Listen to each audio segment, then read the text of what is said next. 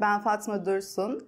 Bugün size saç ekim operasyonlarından sonraki genel yıkama talimatlarından bahsetmek istiyorum. Bu süreç ortalama 15 günü kapsamaktadır. Ee, en önemlisi ilk başta 3.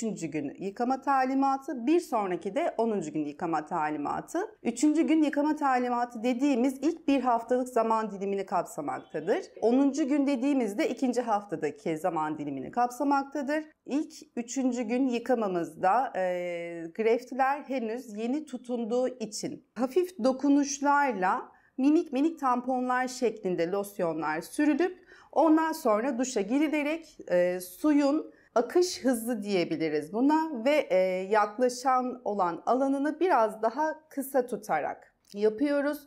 Ee, ve bu talimat bir hafta kadar sürmesi gerekiyor. Bu süre zarfından sonra 10. güne geçtiğimiz zaman da artık tam tersini yapıyoruz. Bu defa böyle ovalama şeklinde fakat kesinlikle tırnak geçirmeden. Orada kabuk oluşumu oluyor ve biz bu kabukları atmak durumundayız ki artık ekilen greftler oraya tutunduğu için rahat rahat nefes alsın cildimiz ve çıkışlarına başlasınlar diye. Bu bahsettiklerimiz tabii ki ekim bölgesiyle alakalı olanlardı.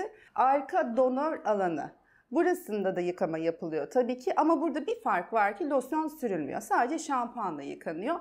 Orada kesinlikle dokunma yasağımız yok. Ovalayabiliriz ki hatta aslında ilk hafta itibariyle orada ovalamayı ama yine tırnakları geçirmeden ovalamayı öneriyoruz ki her ne kadar sivilce riski ön tarafta olacaksa arkada da olma durumu var. O yüzden minik minik kabuklanmaları engellemek adına da böyle yumuşak masajlarla arka donör alanını da şampuan yardımıyla yıkamamızı öneriyoruz. İki haftalık yıkama periyodumuz bu şekilde. Hepinize sağlıklı günler diliyorum.